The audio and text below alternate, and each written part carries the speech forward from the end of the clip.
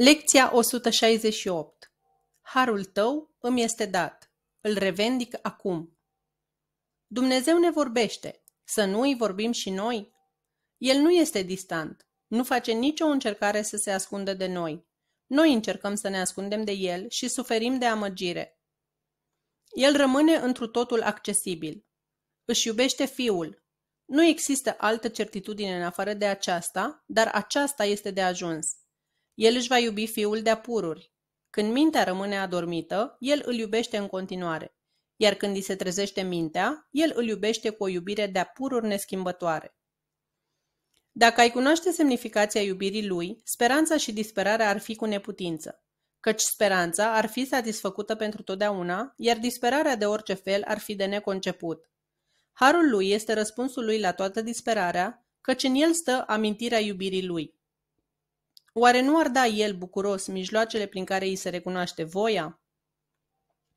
Harul lui este al tău prin recunoașterea acestui lucru, iar amintirea lui se trezește în mintea care cere de la el mijloacele prin care somnul ei i-a sfârșit.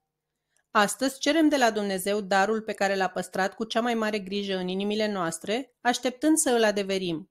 Acesta este darul prin care Dumnezeu se apleacă până la noi și ne ridică, făcând el însuși ultimul pas al mântuirii.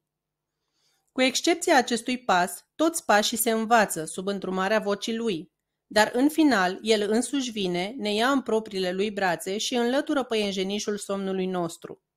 Darul harului său e mai mult decât un răspuns, căci restabilește toate amintirile pe care mintea adormită le-a uitat, toată certitudinea în ce privește semnificația iubirii. Dumnezeu își iubește fiul. Roagă-l acum să îți dea mijloacele prin care lumea aceasta va dispărea și viziunea va veni mai întâi, urmată la numai o clipă de cunoaștere. Căci în har vezi o lumină care învăluie lumea întreagă în iubire și vezi cum dispare frica de, a, de pe fiecare față în timp ce inimile se înalță și revendică lumina ca a lor. Ce rămâne acum să mai amâne cerul chiar și o clipită? Ce mai rămâne nefăcut când iertarea ți se așterne peste toate? Ziua de azi e nouă și sfântă, căci primim ce ni s-a dat.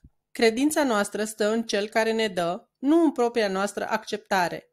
Ne recunoaștem greșelile, dar cel care nu știe de greșeală e totuși cel care răspunde greșelilor noastre, dându-ne mijloacele de a le lepăda și de a ne înălța la el cu recunoștință și iubire iar el coboară să ne întâlnească în timp ce noi venim la el, căci ce ne-a pregătit, ne dă și noi primim. Iată care e voia lui, pentru că își iubește fiul. Lui ne rugăm astăzi, restituind doar cuvântul pe care ni l-a dat prin propria lui voce, cuvântul lui, iubirea lui. Harul tău îmi este dat, îl revendic acum. Tată, la tine vin, și tu vei veni la mine, cel ce te roagă. Eu sunt fiul pe care îl iubești.